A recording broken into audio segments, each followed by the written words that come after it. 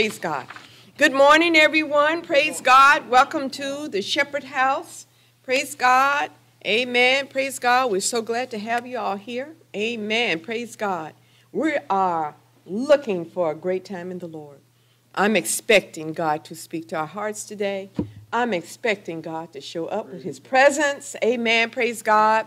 And I tell you what, I'm looking forward to God speaking to us. Amen. Praise God. Amen. Praise God. Hallelujah. So I hope and praise God you got your, your Bible belts on. Praise God. So we can go in deep into the service this morning. But first of all, we're going to have our devotions and praise the Lord. Amen. We're going to start off, praise the Lord, in prayer with yours truly.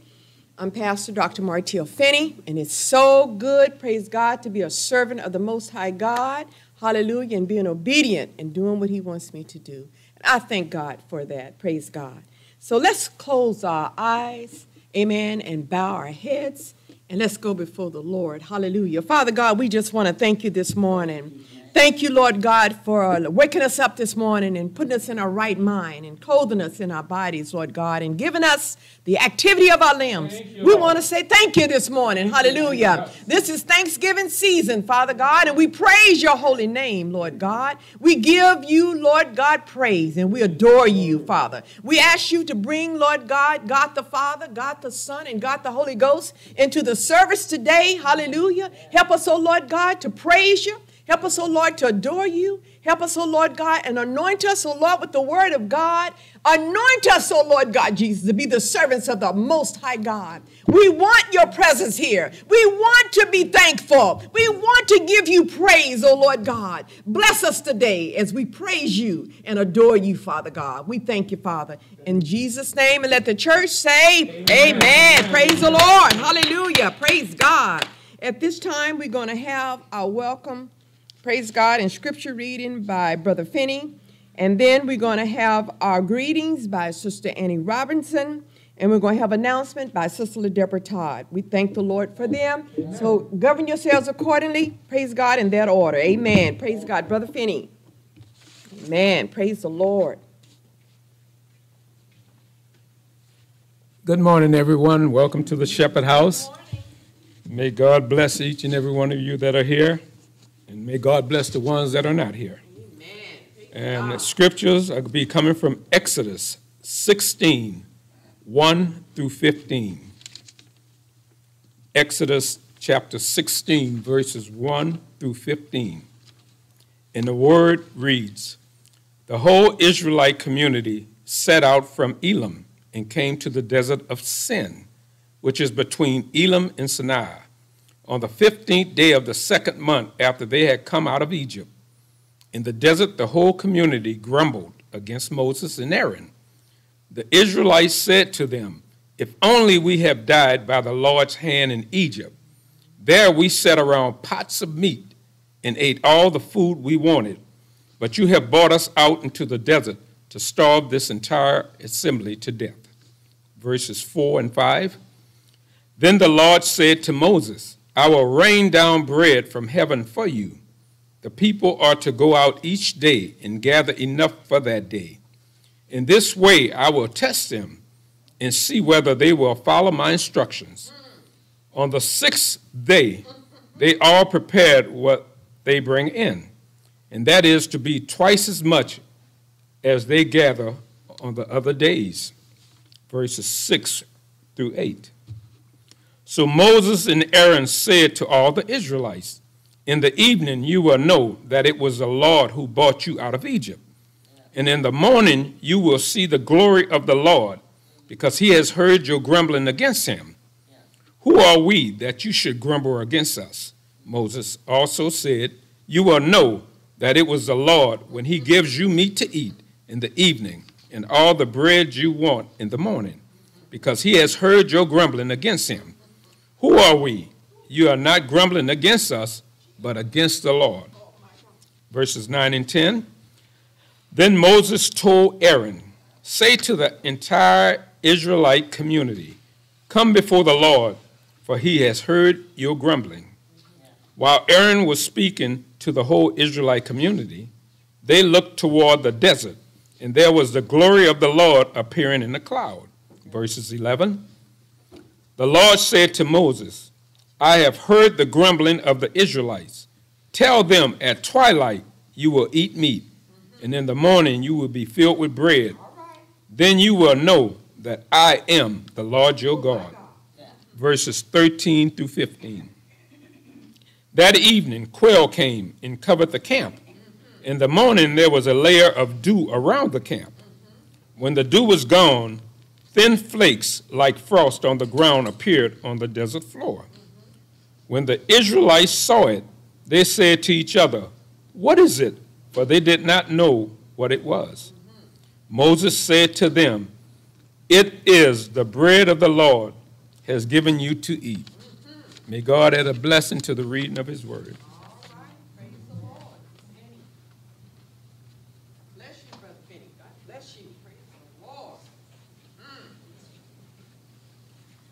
Good morning. Good morning. Give it all praise and honor to our Heavenly Father, to my pastor, Reverend Martel Finney. On behalf of the Shepherd House, we welcome you to join us in praising God in His sanctuary. Amen. Come, let us rejoice in the Lord always. Again, I say rejoice. Let us shout for joy for the Lord. Worship the Lord with gladness. Come before Him with joyful song. Let us give thanks in all circumstances, for this is God's will for us in Christ Jesus.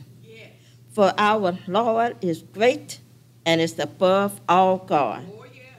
Praise and glory and wisdom and thanks and honor and power and strength be to our God forever and ever. Yeah.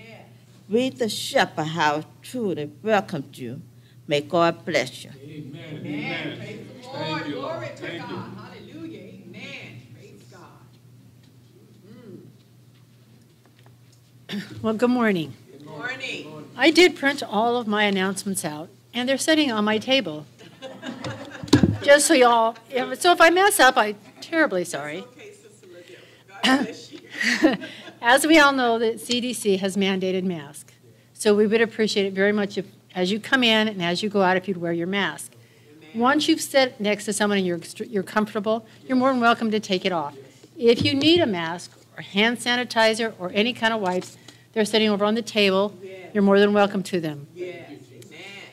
Let's see. And, and for all the board members, we have a meeting this coming Friday, Skype meeting at 10 o'clock. All right? And we have Bibles. So if any of you would like to use a Bible as we're going through our scripture, you're more than welcome to use them. They're also sitting on the table. Bring you one. Um, let's see. Oh, and Sylvia, the lady over here with the beautiful gray hair, is our is our um, is our prayer team member, uh, leader please call her. She'll set you up. Please call her with all your prayer requests. And let's see. Once again, if anyone has a birthday, we love to recognize your birthdays. And just, you know, because he's my great grandson, I'll mention my great grandson's birthday. Caden Munlux has a birthday November 13th. And please don't forget, today, whether we like it or not, it's trick or treat. And there's a lot of children out there that are just going to enjoy all that candy and all that good fun. And, you know, if you're out and about, please make sure that you keep an eye out for these children yes. so that no one gets hurt. Amen. They come to your house, throw something at them. In their little buckets, y'all. Okay? God bless each and every one of you. Praise the Lord. Praise the Lord, everybody. Praise the Lord. Praise God.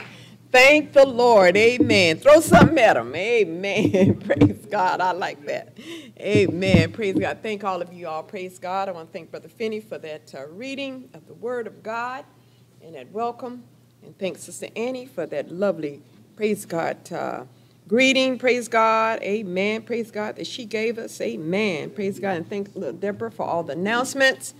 Praise God. We govern ourselves according to all the announcements. Amen. Praise God. Amen. There's a lot to do in it. Praise God. But God is blessing us to get it done. Amen. Praise God. I'm not complaining. Amen. Praise God. Hallelujah. Praise God. So I thank the Lord for all the announcements. Praise God. At this time, we're going to have testimony service. Amen. Testimony service is open to each and every one of you, and I know all of you should have a testimony. Praise God. Hallelujah. I believe in testimonies. Praise God. I tell you, testimonies strengthen me. When I hear you, praise God, talk about the goodness of the Lord, that's, that's my strength. Amen. And it's so good. You think COVID is teaching us a spiritual truth? I think so. Jesus. I really do think that. After reading this lesson and comparing this lesson, praise God, yes I do. It's testing time. Yes, it is. We're going to prove it in the Word of God today. The reason we need to remove the worms and maggots out of our manna so we can receive God's spiritual truth. Mm-hmm. You can't receive nothing if you're grumbling and complaining. If my mouth is open and I ain't praising God, then it's just noise. Mm-hmm. Come on, come on, saints of God. It's the truth. Amen. While Jesus lived on earth, the Jews challenged him to prove them that he was who he claimed to be. Yes, Lord. They suggest that if he had really been sent by God, he would give them manna from heaven to eat, like Moses had given their forefathers in John 6:31. According to John 6:31. In response, Jesus told them that God, not Moses, had given their fathers bread in the wilderness. He also told them that the manna served as even a greater purpose than that of feeding the people. He told them that the manna represented him. The manna represented Jesus. Yeah.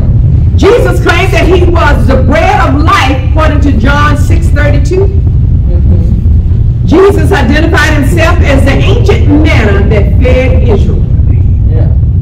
Now, when the people of Israel first encountered the title, uh, the little pieces of bread lying on the ground, they looked at it and called it manna. The word manna, like I said, means it. I want to show you what the manna was and why it represented Jesus in this sermon today. Let's notice a few facts about the manna today. It may be that God will use this passage to help us to come to know Jesus Christ Yes, better. Yes, Lord. Yes. And uh, hindrance in our walk can be removed out of our walk. Yeah.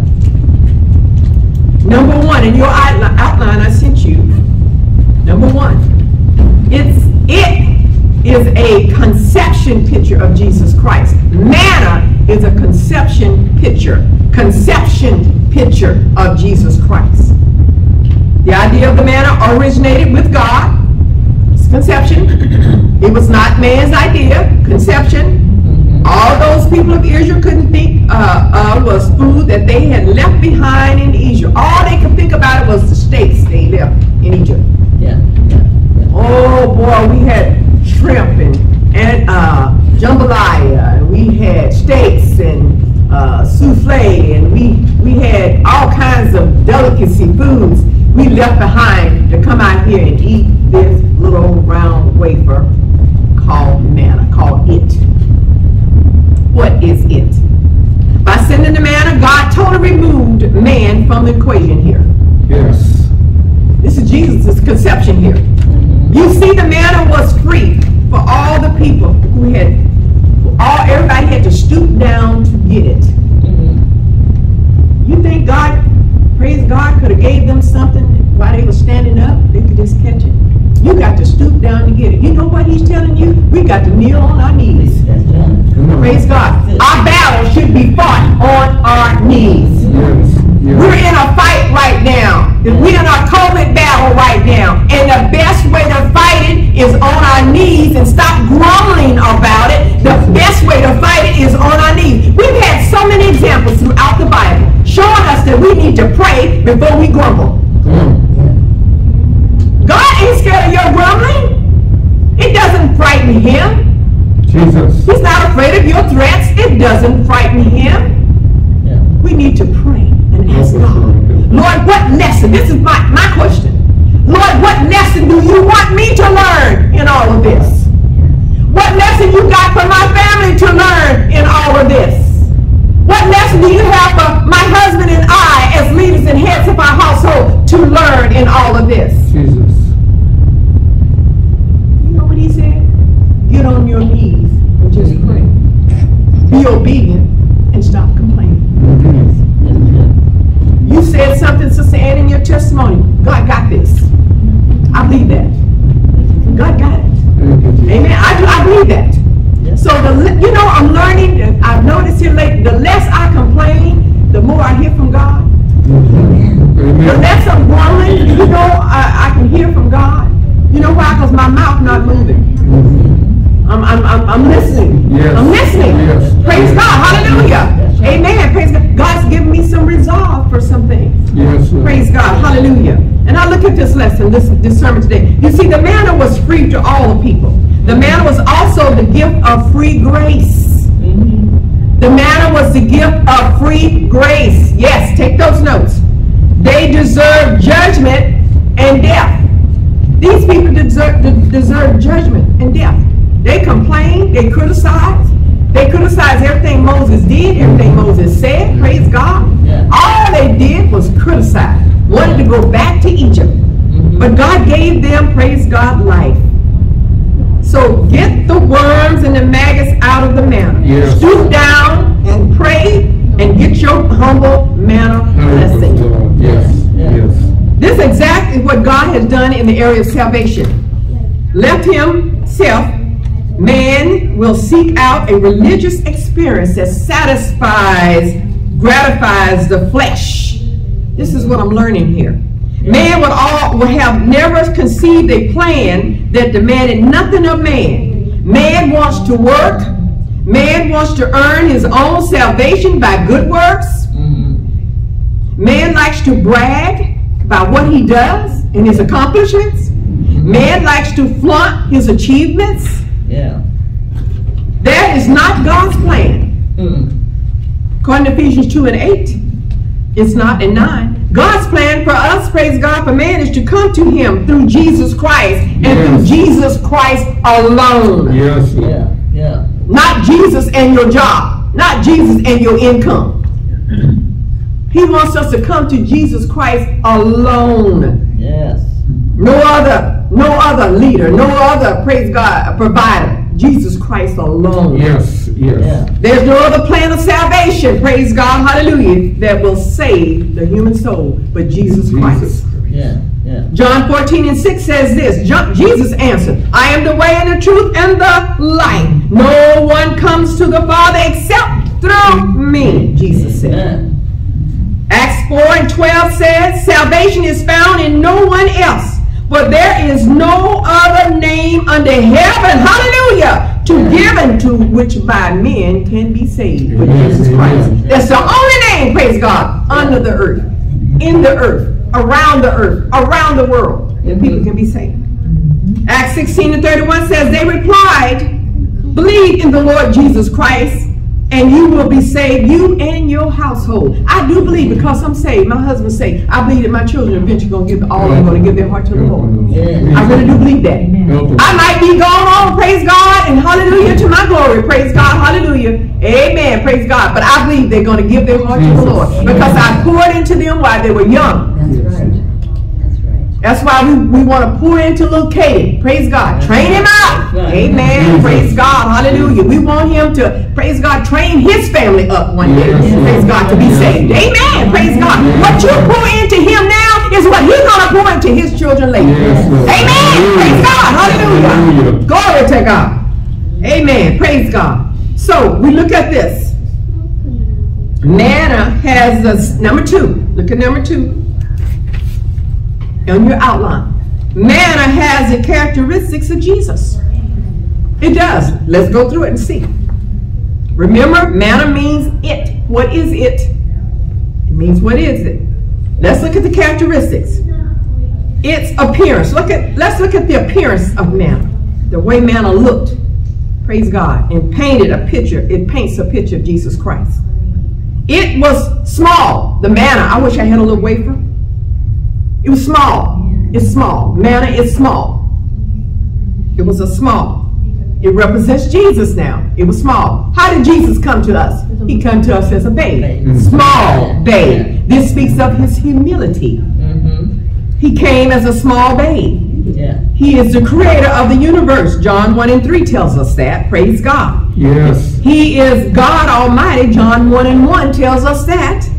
Yet he came into the world and was robbed and robbed himself with human flesh. Jesus. Yeah. He didn't have to come in human flesh. Yeah. He could have come as God Almighty. But he came in human flesh so he can experience the pain that we experience. So he can experience the hurt that we experience. yes, yes. Amen. He wanted to feel our infirmities. Yeah. That's humility. Yeah. Do you want to feel somebody else's pain that's going through COVID? I don't think so. Mm-mm.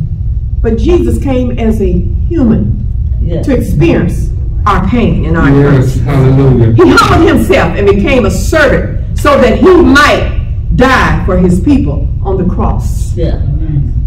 What love, what grace, what supreme. You might not think much of me, but Jesus thought I was to die for. Mhm. I'm going to put that on the t shirt. Mhm. Praise God. Hallelujah. You might not think much of me, but Jesus thought I was to die for. Come on.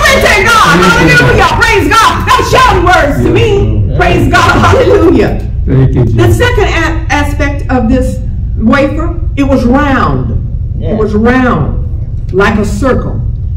The circle has no ending and has no beginning, does it? You can't see where it starts. You can't see where Jesus was like that. He mm-hmm. had no beginning and he had no ending. Yeah. Praise God. He's eternal. Jesus Christ is eternal.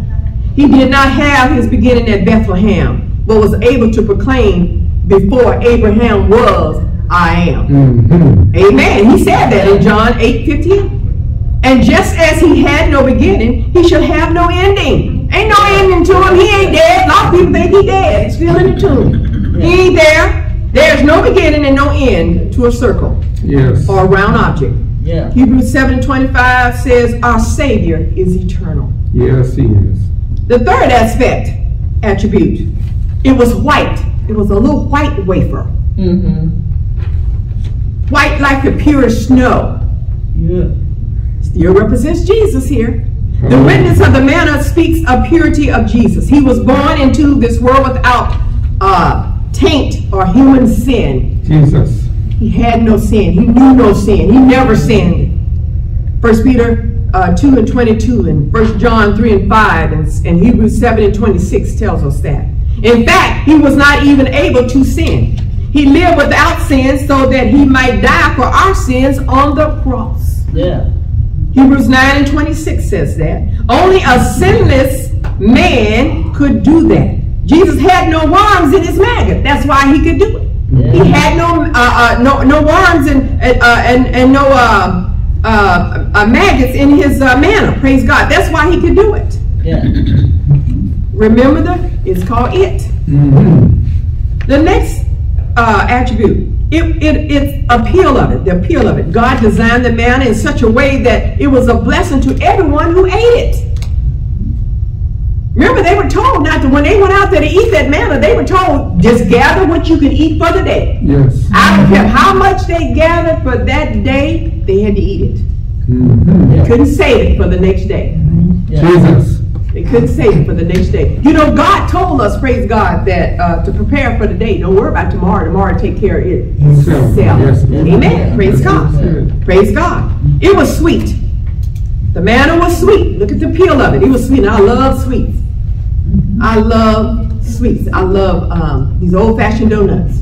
I love licorice, the red one. Um, what else I like? Sweet. Oh, uh, I like sweets. I like pound cake. Homemade pound cake. Amen. Praise God.